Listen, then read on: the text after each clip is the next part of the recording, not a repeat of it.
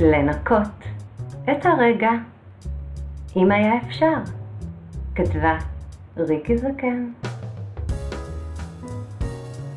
אם היה אפשר לנקות את הרגע למען המחר.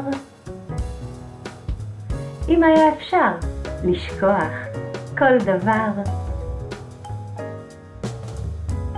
אם היה אפשר לאהוב בלי להתאמץ.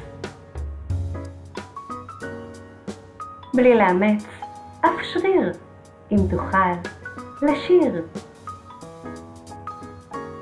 אם היית שר על הגשם, על השמש ועל כל השאר, בלי לחשוב על המחר. אם היית מצליח להדליק ולכבות כל דבר.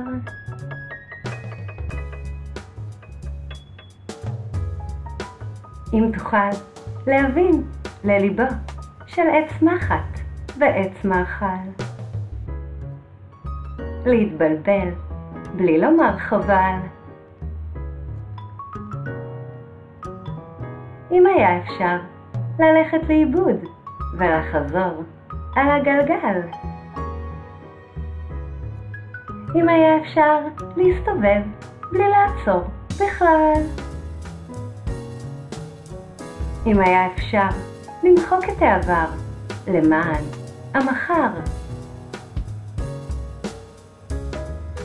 אם תוכל, אל תהסס, בחר תמיד להתפייס.